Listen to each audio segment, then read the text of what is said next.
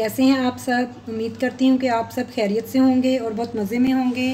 आज मैं आपके साथ शेयर कर रही हूँ बंगाली खीर रेसिपी ये बहुत टेस्टी बनती है और अगर आपने मेरे चैनल को अभी तक सब्सक्राइब नहीं किया तो मेरे चैनल को सब्सक्राइब करें और बेल आइकन को भी प्रेस करें ताकि मेरी नई आने वाली वीडियोस आपको टाइम पर मिल सकें। चले आए इसे बनाना शुरू करते हैं। तीन लीटर फुल फैट मिल्क लिया है हमने। डेढ़ कप चावल लिए हैं, जिसे हमने आधे घंटे के लिए पानी में सोख कर लिया था। चार डली गुड़ लिया है, वन फोर टीस्पून इलायची पाउडर, तीन अदर तेज़पत्ते, टू टेबल स्पून पिस्ता, थ्री टेबल स्पून बादाम बारीक कटे हुए। दूध को बॉईल होने के लिए हमने रख दिया है। जब एक उबाल इसमें आ जाएगा, हम इसमें चावल डालेंगे। जितनी देर दूध बॉईल होता है, हम चावल ग्राइंड कर लेते हैं। अब हम चावल ग्राइंड करते हैं।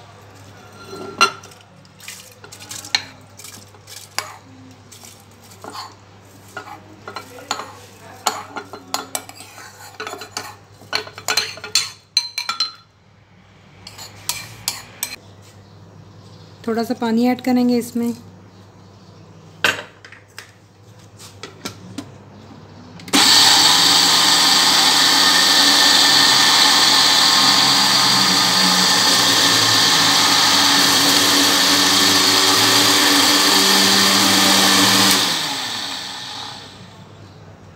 चावल ग्रैंड हो चुके हैं।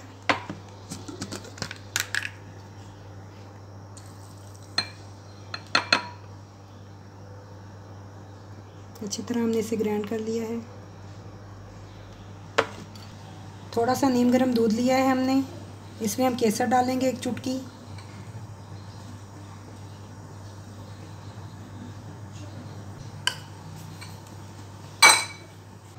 दूध में उबाल आ चुका है। अब हम इसमें चावल ऐड करेंगे।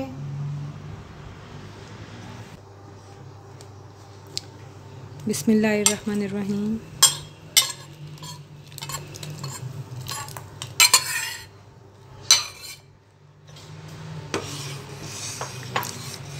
चावल ऐड करके चम्मच आपको मुसलसल चलाते रहना है, इसे छोड़ना नहीं है, ताकि गुटलियाँ ना बने।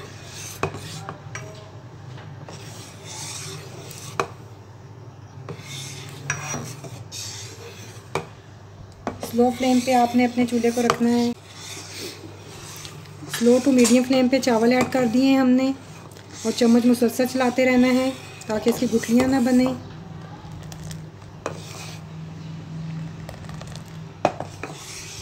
अगर हम मुसलसल चम्मच नहीं चलाएँगे तो गुठलियाँ बन जाएँगी और वो खाने में मज़ा नहीं आता फिर खीर का।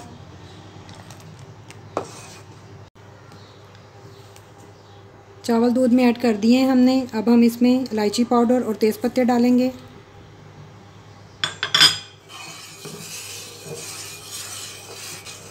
और इसे मुसलसल मीडियम फ्लेम पर पकाएँगे।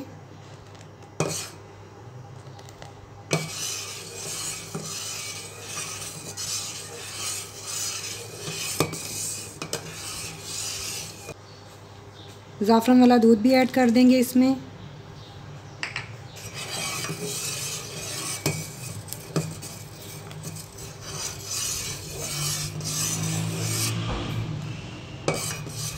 ज़ाफ़रान की बहुत मज़े की खुशबू होती है और ये हेल्दी भी बहुत होता है। आप इसे अपने बाकी खानों में भी यूज़ कर सकते हैं। अब हम गुड़ का शीरा बना लेते हैं। थोड़ा सा पानी डालेंगे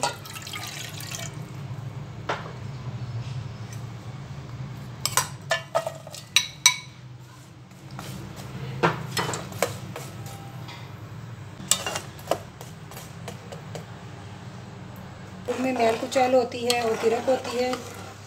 इसलिए हम इसे यूँ पानी में हल करके फिर खीर में ऐड करेंगे।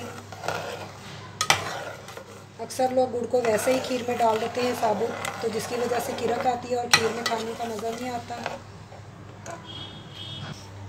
शीरा हमने बना लिया है, फ्लेम हमने बंद कर दिया है। एक छलनी की मदद से हम इसे पुनेंगे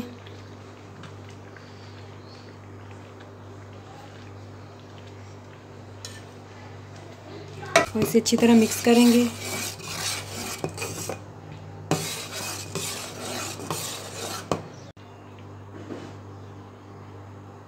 बस।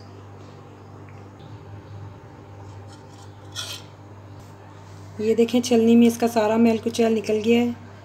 आपने डायरेक्ट कभी भी ऐसे गुड़ में डालना खीर में, वरना आपकी खीर में किरक आ जाएगी।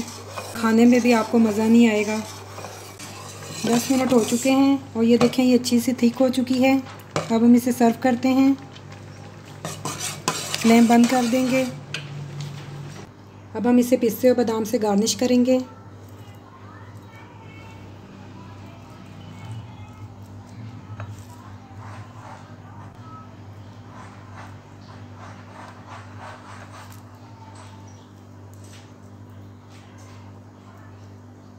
ये बहुत मज़े की खीर बनती है, आप इसे ईद पर बनाएँ या कोई भी खुशी का मौका हो, दावतों में बनाएँ।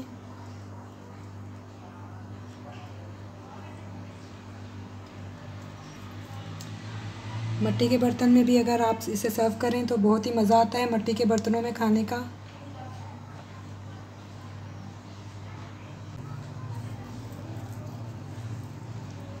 अब हम इस पर बादाम डालेंगे।